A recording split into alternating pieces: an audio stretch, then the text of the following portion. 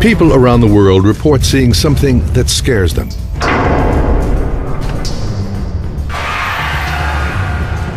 Something actually pushed me from behind. And they say they've got the evidence to prove it on video, It did it again.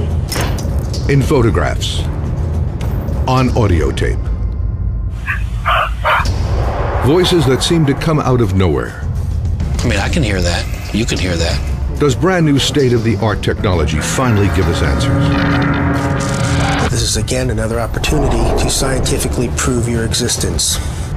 Monster Quest investigates one of history's bloodiest crime scenes Mrs. Borden had received 19 hits to her head. in what's been called the most haunted house in America.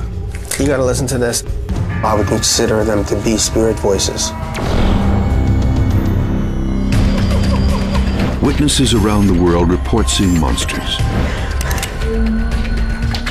Are they real or imaginary? Science searches for answers. On Monster Quest.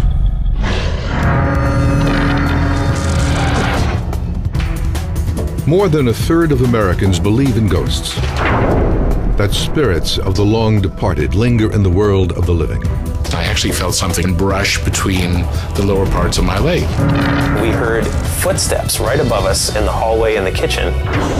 Out of the corner of my eye, I thought I saw something blue passing me. And all of a sudden, my legs, which were draped over the side of the bed here, just started picking up on their own. Many of these paranormal incidents have been caught on film or video. Did anybody move back and step on the wall? This man says an unseen hand moved his video camera in a haunted house. You can hear and see that there is something physically moving the camera, but it doesn't appear on the camera. I could see several anomalies uh, moving left to right, up and down. Right there. Hmm? Uh-huh. This man says his camera filmed ghosts on a Civil War battlefield. Look. There's nobody down there no more. A television newscast reported this amateur video might have captured a paranormal apparition right in the middle of the Vatican Basilica. And right in front of the tomb here, it's all clear, and there'll be a ghost coming up. You heard correctly. He said ghost. And the strange blue figure has become known as the Blue Ghost of Parma after it was recorded on an Ohio gas station security camera and broadcast on national TV. Technology captured this evidence. Can science authenticate it as paranormal? Monster Quest gathered together the most compelling evidence out there to be analyzed by experts for clues to its authenticity. So this is the sofa on which Andrew was killed. But Monster Quest will also generate new evidence, investigating what may be one of the most haunted places in America, the Lizzie Borden House, using the highest resolution thermal camera in use today. Um, we're gonna have to pay him for this? All evidence will be submitted for analysis in a search for proof of the paranormal. Can't make much of that.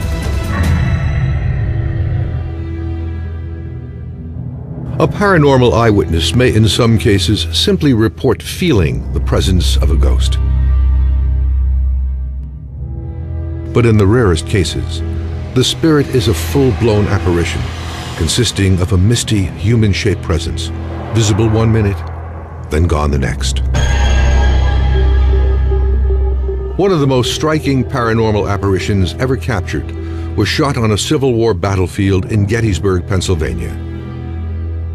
We just couldn't believe what what we had saw. We kind of figured it was paranormal. The Underwood family shot the video at a place called Triangular Field in the fall of 2001. There's another spark. You see what I'm What's saying? that? Looked like shadows or uh, something moving actually through the trees and, and on the field.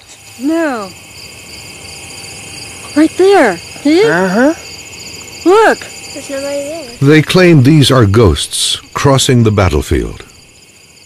Uh, they was actually moving in so many different directions. We just couldn't believe that we had, had captured this. 8,000 men died here over three days in 1863. Their battered bodies littered the fields. I really believe that it was actually uh, soldiers and horses coming up the field actually for a battle. Michael Goldsworthy, a former police investigator, will use state-of-the-art software to enhance this footage. The Ocean Systems detective package actually clarifies video and brings out details that you normally wouldn't be able to see. And more detail could provide new clues to prove its authenticity. The search for proof of the paranormal will also utilize audio evidence. This is the voice of a ghost, according to this investigator. It was captured using a technique called electronic voice phenomenon, or EVP. There's answers to questions, there's um, voices that of loved ones that you can identify with.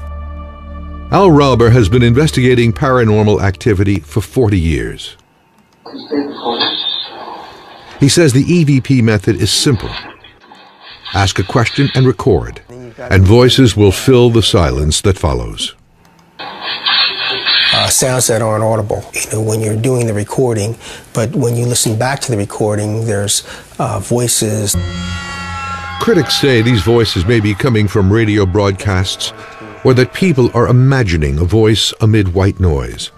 But for those who believe, it's not imagination if it's on tape. My son died in 2004. He was 16 years old, and hearing from him was the most amazing thing I've ever encountered.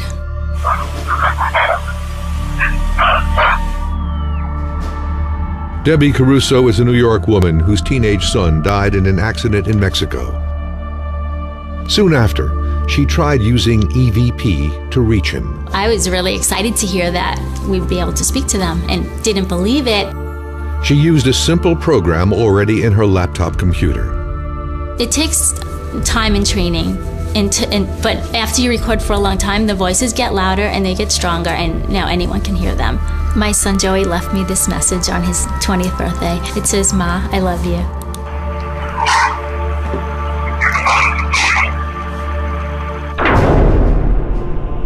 Trying to communicate with departed loved ones is nothing new. In the 19th century, seances run by mediums became a hugely popular way to try to reach the dead.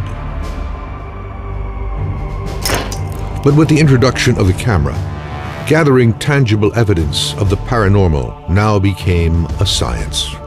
I mean, it's one thing for someone to start talking in a different voice or, or, or alleging that they're, they're channeling someone in, in that way, but it's quite another to see something tangible. Early paranormal photographs displayed everything from floating heads, shrouded figures, and even mediums exuding paranormal goo called ectoplasm. While most early ghost photos were fakes, this 1936 photograph of an apparition on a staircase in an English estate is still talked about today. The Brown Lady of Raynham Hall was arguably the most famous ghost photo ever. The house had a reputation for being haunted. And when it was developed, they had this sort of human shape. Taken over 70 years ago, this photo continues to cause controversy. People have checked out the negative, said it's on the negative, so whatever it was, they absolutely got a picture of it. They become legendary for being real pictures of ghosts, and that's all that ever happens. You really rarely read any technical detail on any of those photographs. But today, the technical detail needed to properly analyze paranormal evidence exists. Dave Manganelli is a paranormal investigator with nearly 30 years of experience. Ready, Al? Yeah. He and Al Rauber will lead the search for new evidence. That search will take place in Fall River, Massachusetts, at the Lizzie Borden House. Location of the sensational double murders of Lizzie's parents, Andrew and Abby Borden. They are just some of the spirits witnesses say they've encountered here. The Borden case is really interesting because it was the crime of the century. Back in August of 1892, On the morning of August 4th, 1892, Abby Borden was upstairs in the guest bedroom. The killer entered and approached her from behind carrying an axe, using it to strike her again and again until she was dead.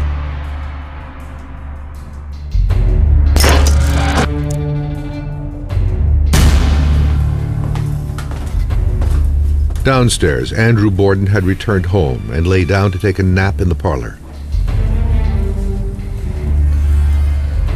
Someone approached the room, axe in hand. The first blow struck him in the head. He may have awoken to see his attacker, but it was too late. Again, the axe fell, over and over. Lizzie was the prime suspect, but was acquitted at a trial that mesmerized the nation. And now, more than a century later, there are regular reports of strange things happening in this house. There is a lot of voices, footsteps, sounds, objects moving, things like that. My first personal experience in the house here was not long after we had purchased it in June of 2004. I went to the basement and I walked off the bottom step and took a step forward into what felt like a walk in freezer. I felt what felt like two fingers being run down my back. And I, I stopped dead in my tracks. It's possible Andrew and Abby Borden might still be lingering, looking for some kind of divine justice all these years later.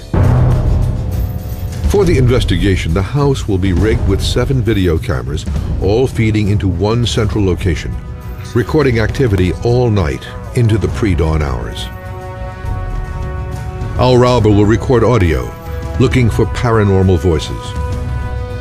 And Dave Manganelli will shoot with a new state-of-the-art infrared camera, never before used in a paranormal investigation.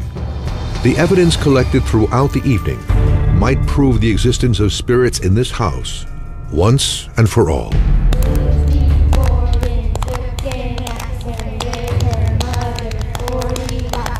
Okay, stop it now. Whoa, maybe back up.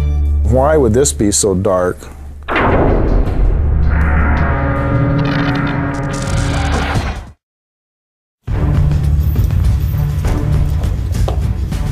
While paranormal investigators specifically try to prove the existence of ghosts, sometimes the most compelling evidence is captured by accident. By ordinary people shooting home video. Every now and then, every few years, some piece of footage makes the news, like the, the kid who captured something at the Vatican in Rome. This video was taken in 2006 inside St. Peter's Basilica by a tourist from Vancouver. And it turned up in a Canadian newscast. Watch this vacation home video closely and carefully. Did you see it? And right in front of the tomb here, it's all clear, and there'll be a ghost coming up. You heard correctly. He said ghost. Kind of see where the feet is. It shows a strange robed figure hovering in the air. Kind of looks like his head.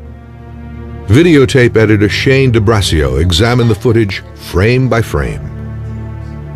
It's definitely clear in this frame by the, the reflection of the light shows us that this jacket is being supported by a stick. There's a stick right there. Tour guides often drape coats or scarves on long sticks to keep themselves visible to their tour groups. So the famed Vatican ghost isn't a spirit at all, but just a marker in a crowded tourist destination. A gas station in Parma, Ohio was the location of another accidental ghost-like apparition caught on tape. It happened one night in 2007, appearing on video from one of the station's security cameras. I honestly thought it might be uh, a piece of uh, dirt or uh, when I first seen it. But others called the blue figure a ghost. See it coming? I s- seen it actually flying into the camera system and stayed there for about 40 minutes and then moved from the standing position to the bottom of the screen. It, it moves up and down and left and right, but it doesn't have any type of set pattern to it. Mike Hammond, president of Automated Surveillance, installed the security cameras at the station in 2006. The cameras are infrared. Infrared technology allows the camera to see in pitch black conditions, which humans cannot see with the naked eye. Hammond will construct an experiment to see if he can manipulate the image to recreate the phenomenon himself. Oh, actually, the infrareds have begun to kick on. Why would there be ghosts at the site? Some have speculated that the station might be built on a Native American burial ground. But a town historian says no one has ever found one.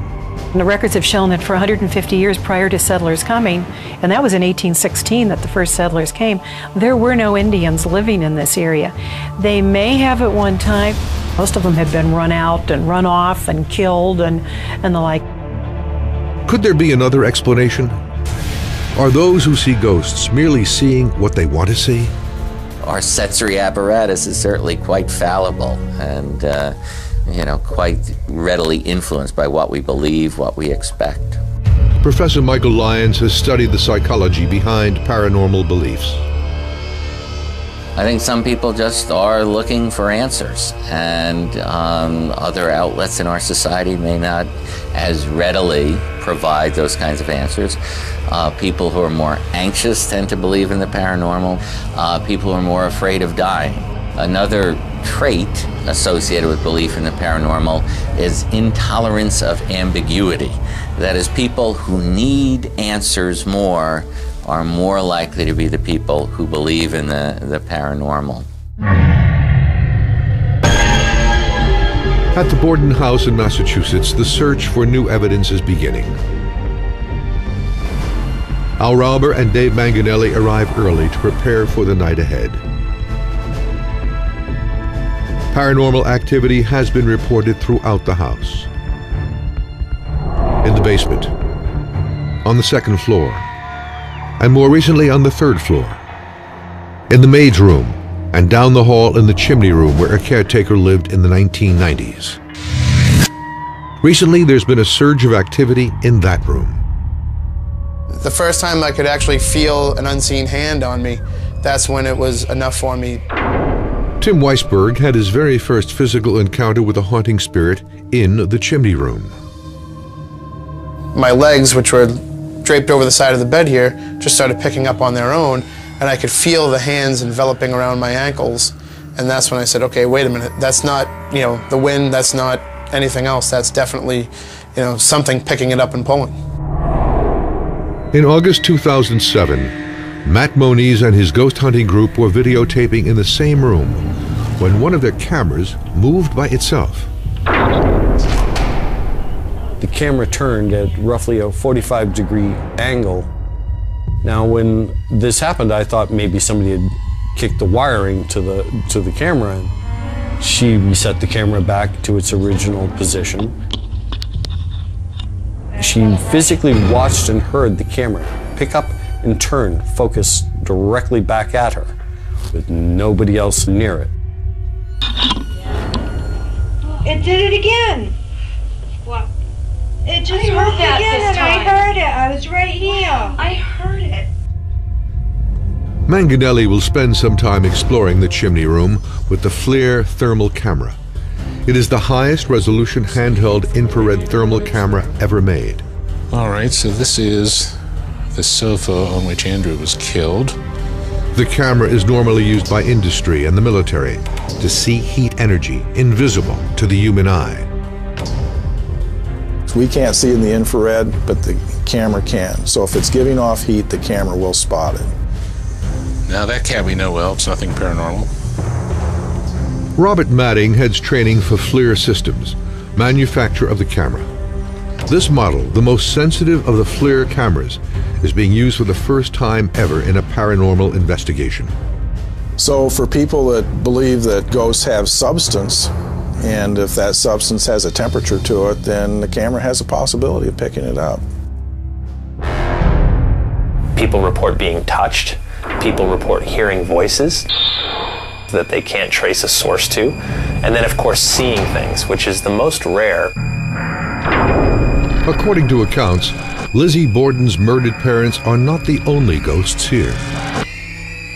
It's believed that the third floor is haunted by the spirits of two children Town history reveals that in 1848, in the house next door, another double murder took place in another Borden family. The mother of that family killed her two young children in the basement of the house. They were drowned in a cistern on the Borden property, and today they're believed to possibly be haunting this house on occasion. Another spirit that seems to be inhabiting our third floor is that of Michael. Uh, Michael was a former caretaker of the house and he worked for the former owner. And not long after he moved out, it's said that he died in a fire out in Connecticut. He fell asleep smoking. Uh, but it's on So, five violent deaths. Are there five souls haunting this house? Can paranormal investigators Al Rauber and Dave Manganelli get the evidence to prove it? I, you got to listen to this. I, I, you tell me what it's saying.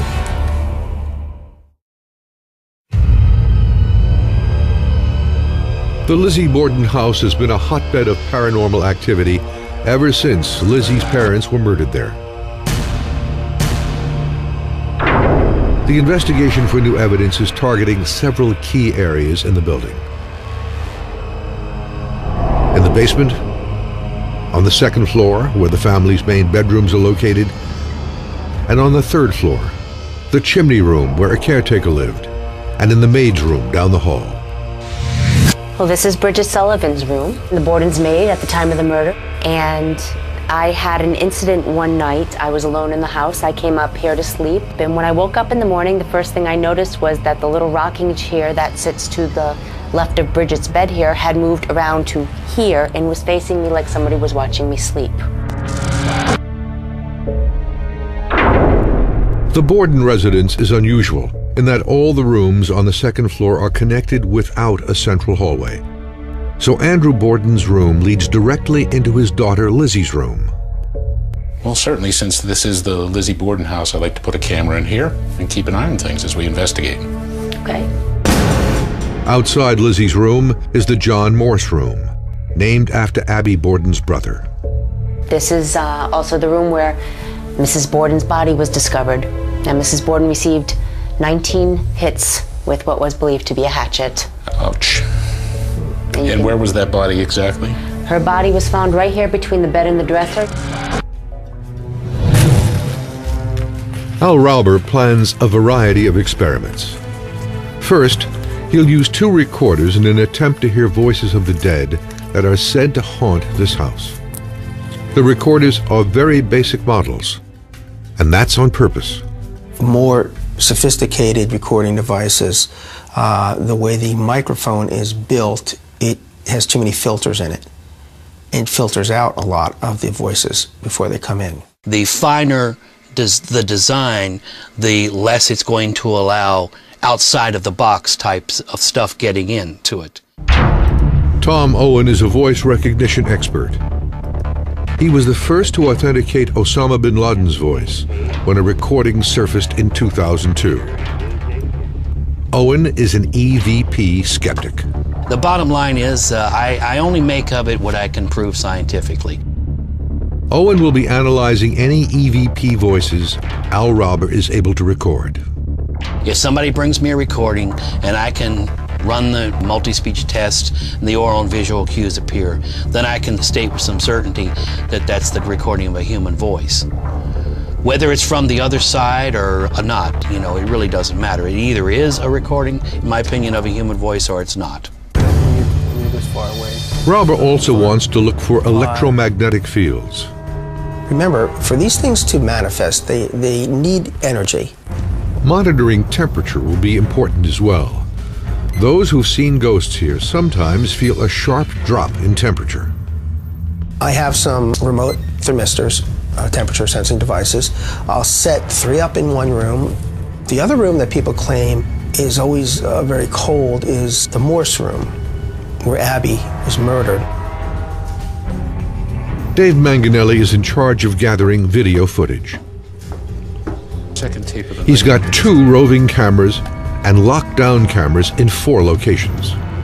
The maid's room, Lizzie's room, the Morse room where Abby Borden's body was found, and the basement. Those cameras feed their signals to a control room set up in the Borden dining room. From there, Rauber and Manganelli can monitor everything that's going on.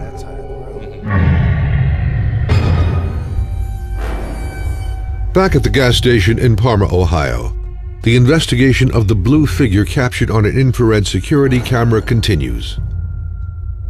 Security camera expert Mike Hammond now has a strategy. This video is unique simply because it's like nothing I've ever seen before. We would probably want to walk up to the camera and dangle perhaps small items in front of the camera in order to see if we can get those infrared beams to reflect and see if we can get transparency through an, through an object. Hammond speculates that a bug may have created the blue ghost image. We've got three different bugs at three different sizes, and we've got some different colors to try out. So We're going to use these tweezers to hold these bugs as close to the lens as possible. Hammond climbs 15 feet to reach the camera. Its infrared technology helps it see at night. But when the plastic bugs are placed on the lens, no matter what color they are, they all read blue on the monitor. It's right on the lens. But what Hammond was not able to duplicate was the fluid movements and the transparency of the original blue figure. We tried all three of these right in front of the lens, and this one right here came closest to duplicating your ghost. But at the same time, it was not an exact copy or an exact match, so it's still an unexplained mystery.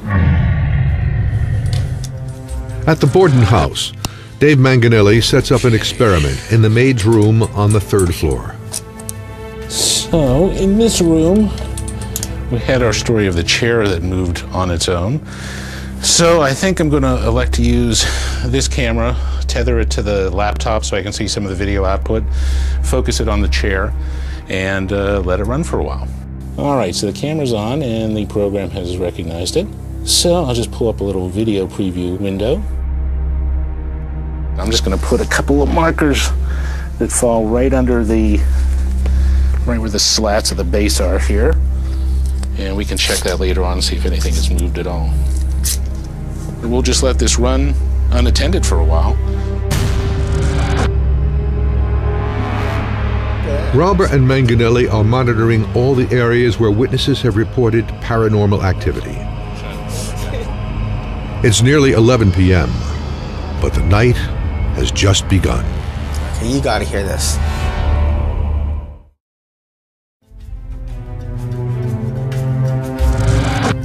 Eleven thirty p.m. At the Lizzie Borden house in Fall River, Massachusetts. Al Rauber is recording for Paranormal Voices. Gonna just do a walkthrough of the house, room to room, where the activities seem to be uh, more often occurring. Into Lizzie's room. I believe we did get some voices in this room. If anybody is in this room, this is again another opportunity to scientifically prove your existence. Now, coming down the hallway to the chimney room, we've had many reports of things happening in this particular room. If anyone is in this room, if the gentleman that they refer to as Michael, if you are still here, please leave us a message on this tape recorder. You know how to do it, you can do it.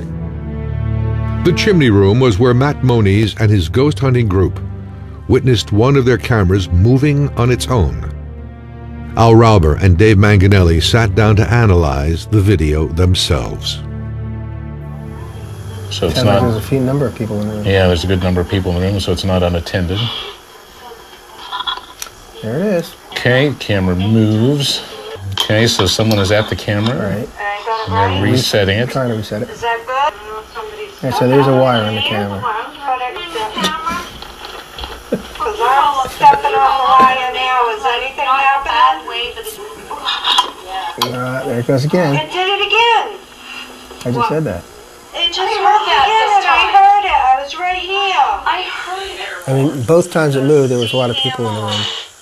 Do we want to put a camera in the exact same spot and make sure it's anchored? We can try that, sure. So this is our corner where we had the report of the camera moving on its own. So in the back of it pivots pretty easily. All right, I'm reasonably confident if we don't stomp out of the room that the camera will stay there.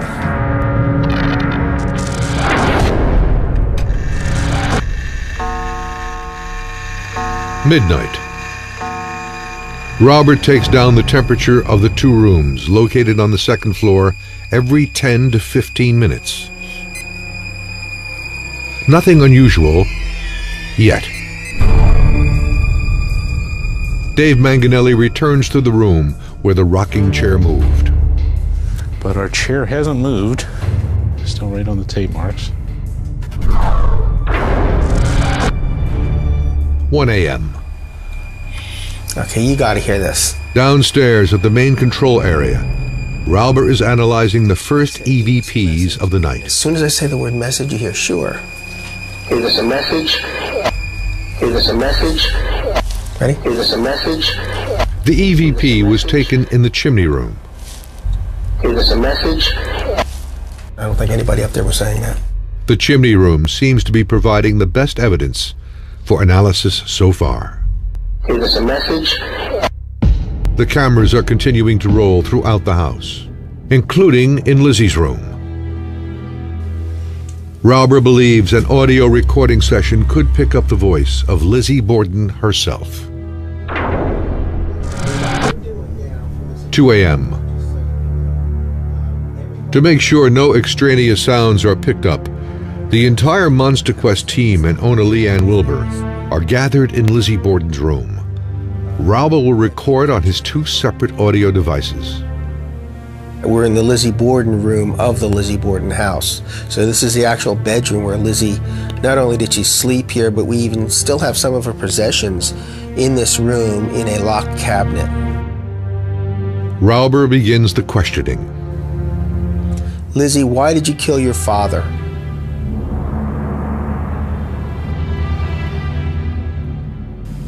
Lizzie, who made the mirror move? The mirror right behind me. During Rauber's last visit to the Borden house, a mirror in the hutch behind him moved when he asked a question about Abby Borden. Yeah. Rauber will analyze the recording in the main control room. 3 a.m. Dave Manganelli reviews footage from the chimney room. This is a review of the first tape that we did in the chimney room to test and see if the camera would move. So we'll just take a quick look. Okay, 10 or 11 minutes in, it hasn't moved. Almost 20 minutes in, same framing. So no movement there. Again, just kind of spot checking to see if anything unusual happened. And 50 minutes in, we haven't moved, people re-entering the room. So, nothing. Good solid picture. Manganelli now decides to shoot with a FLIR thermal camera, which can see heat energy normally invisible to the human eye, including temperature shifts as small as six hundredths of a degree. And with a really good infrared camera like this one, we can actually see some interesting images. And back in the chimney room, there is something very odd and unexplainable. And there's the chest on which the other group's camera supposedly moved. The bottom of the toy chest appears to be glowing as if it were blazing hot. Yeah, definitely warmer at the bottom. I'd like to go uh, see if it's as warm as it looks. The top of the toy chest appears to be much cooler than the bottom. Yeah, it certainly doesn't feel particularly warm, but interesting. The top is definitely cooler, so the object itself, so the top of that is, it does have its cool spots. The footage of the chest will be marked for special analysis. As the Borden House investigators review their evidence, Michael Goldsworthy has completed his work on the existing evidence of the alleged Gettysburg ghosts. It shows faint white figures moving from left to right, from the ground, then higher up into the trees. It was shot in 2001 by the Underwood family at Triangular Field in Gettysburg, Pennsylvania. Right there. Uh huh. Look. There's nobody there. To enhance and study the video, Goldsworthy used software called dTective. And then we just tell the computer to average up to 100 frames, sharpen it a little bit, and you'll see that it straightens out the picture quite well. So we've gone from a very fuzzy, sparkly type picture that doesn't give a lot of detail to this where now you can make this rock out much better. So then once it's been enhanced, and you can see right here, the image basically moves across.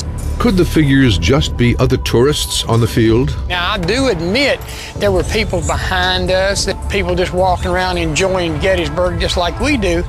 But uh, as far as in front of us, there was nobody there. This is the field as it looks today. In the direction the Underwoods were shooting, it is relatively flat. Yet the figures in their video seem elevated, well above the ground. For Goldsworthy, the repetition of the figures themselves was a bigger concern. So you have something in the picture, some object that's moving across the image, and it actually does it several times. So what I did is combine three different shots from different times in the video to show what I then began picking up as a repetitive nature. He doubts this existing evidence is a paranormal apparition caught on tape. Because of the almost perfect repetition, it's almost as if someone is looping either a video or a projection. As far as creating this, if you were to do this in the field, I would say that you would use a clear piece of Lexan, a clear piece of glass, and reflect an image off of it. But Tom Underwood stands by its authenticity. And if I did all this in front of everybody, I mean, I think I would have drew a lot of attention, and I think they would have came over and tried to figure out what I was doing. It is the real thing.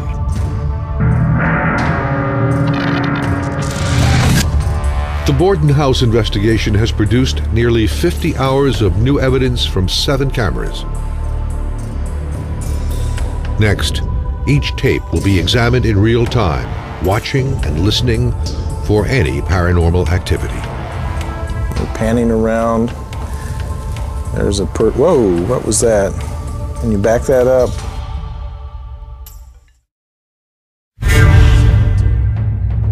Are there spirits of the dead among us? And does this audio and video evidence prove it? This family says they watched ghosts crossing the Civil War battlefield. Looked like shadows or uh, something moving actually through the trees and, and on the field. This man says something unseen moved his camera in the Lizzie Borden house. It did it again. The camera turned at roughly a 45 degree angle of the existing evidence, our investigation showed the Vatican ghost was not a ghost at all, but a jacket or scarf suspended by a long stick. This blue apparition might have been a bug, but Mike Hammond could not be sure. And this expert was skeptical of the Gettysburg ghosts, but could not rule out the paranormal. It is the real thing. And it's, it's, not, it's not a hoax or anything. As for the new evidence, more than 50 hours of video from the Lizzie Borden house have now been analyzed by the Monster Quest investigators. Cameras were locked down in the basement, in Lizzie Borden's room, in the room next door where her stepmother was killed, in the maid's room where the chair moved, and in the room where the camera was once reported to have moved by itself. The hours passed, the tape rolled on, but nothing out of the ordinary seemed to happen. The conventional cameras saw nothing abnormal. But the FLIR camera did pick up unusual activity. It sees heat energy and shifts in temperature, invisible to the naked eye. Yellow represents a higher temperature, while darker colors represent cold. Here's the toy chest again. And if we can stop right about there. This is the investigation footage that showed that the bottom of the chest was glowing and hot, but the floor beneath it was cold to the touch. Thermal camera expert Robert Madding analyzed this footage. We're seeing this little seam at the bottom, which has a brass plate or strip across here, so not quite sure what that is. Could be reflection of uh, heat from people that are standing in the background. Not quite sure what that is. It remains a mystery. Next up, the maid's room, where there was a report of the moving rocking chair. Okay, stop it now. Whoa, maybe back it. And why would this be so dark? One might want to take a look at uh, is, this, is there missing insulation here or some other thermal problem because this wall is so much darker than this one. It may simply be a construction defect. So while the video evidence was inconclusive, there was a lot more going on with the audio evidence. We captured a lot of voices. We caught EVP in four of the rooms the, uh, the basement, Lizzie Borden's room, um, we caught it in the chimney room, and we also caught voices. I also caught voices in the Morse room. Now, coming down the hallway to the chimney room, at one point in the chimney room, I was asking the spirit that we were told resides there if he would talk to us or give us some information. And a voice comes on saying, Sure. Is this a message? Is this a message? Voice recognition expert Tom Owen analyzed the audio evidence. Let's see what it looks like. Can't make much of that. We're just saying total noise. Let me see what the. Yeah. Pitch is. There's no pitch to it at all. While this clip is not providing Owen enough data to analyze fully, there's another EVP that is. This one captured in the Lizzie Borden room. And when we finished our taping session, I mean, we pretty much had signed off, and there's uh, uh, some small talk going on, and a voice comes on the tape. It's very close to the tape recorder, and the voice is saying, "So." Chelsea, stay the course. Yeah, there's definitely something there, right here. When you whisper, you're not uh, moving your vocal cords, and therefore you're not creating any fundamental frequency. And the first thing you'd want to do is to investigate who was on the site because it, it, it is audible. I mean, I can hear that. You can hear that. Chelsea, stay the course. And the voice seems to be extremely close to the microphone. But the surveillance camera in the room shows no one is close to it. Anybody that was in the room was at least three to five feet away from the microphone. This works on the, pro- the uh, proposition of the inverse square law, you know, which means is it's a fancy way of saying that for every double the distance you move away from the source, you lose 6 dB. So if you're up right against the source and you're whispering, which you would, to be recorded in the first place, you would have to be close. And this sounds like it was close. The surveillance camera microphone also picked up the voice. But eerily, the voice sounds extremely close to the camera microphone too, even though the camera was 10 feet away from the audio recorder. You know, it's obviously a sound. I mean, it's audible and it's it's you can hear that it's a sound. Whether it's from the other side, I don't know. It may only be one word, but the investigation could not eliminate the possibility that this was the voice of a ghost. I'm pretty convinced that 90% of the voices that we caught, um, I would consider them to be spirit voices or of a spiritual origin. It may not be proof beyond a shadow of a doubt, but something strange was happening in the Borden house. And is happening in places all over the world every day. And as recording technology improves, and with it the quality of the evidence, definitive proof of the existence of spirits among us may be closer than we think.